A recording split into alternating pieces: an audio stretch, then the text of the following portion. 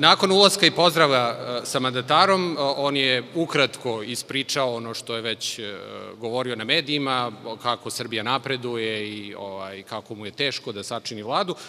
Govorio je i vladavini prava. Prva stvar koju sam mu rekao je da, kad smo već kod vladavine prava, da sam došao prvo da mu uručim tužbu koju odbija da primi, ovo je tužba iz decembra meseca 2014. godine, za klevetu, odnosno za laž koju u Ćirilici, da to u stvari predstavlja primer nepoštovanja institucija sistema, nepoštovanja sudstva, da premijer ne primi tužbu i to u Nemanjinoj 11, duže od, evo, ovo je već sad u drugoj godini, jel?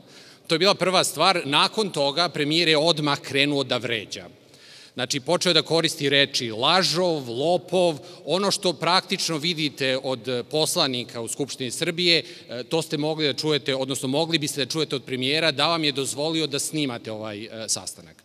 Nakon toga smo mu uručili Dušanovu knjigu Mašina za rasipanje para, zato što je to u stvari govori o tome šta je problem u državi Srbiji, zašto i kako partokratija ubija Srbiju i kako je e, premijer, sada mandatar, u stvari centar korupcije u Srbiji. Nakon toga smo uručili naš program u 20 tačaka, gde smo rekli šta mora u Srbiji da se uradi za godinu dana da bi se uveo red i da bi se stvari postavile na svoje mesto.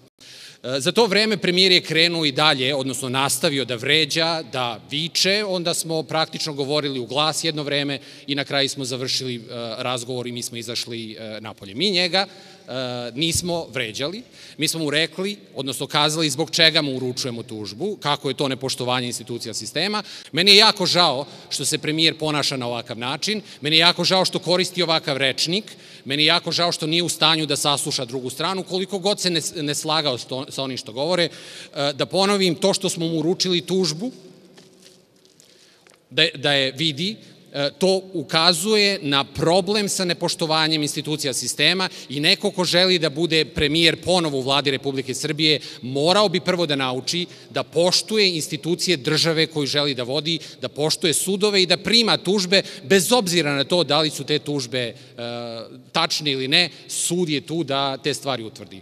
Tako da završili smo jako brzo zato što je premijer odlučio da vređa, pa smo e, na kraju odlučili zajedno da izađemo i Sanna je rekao otprilike ovim potezom, ajte sada.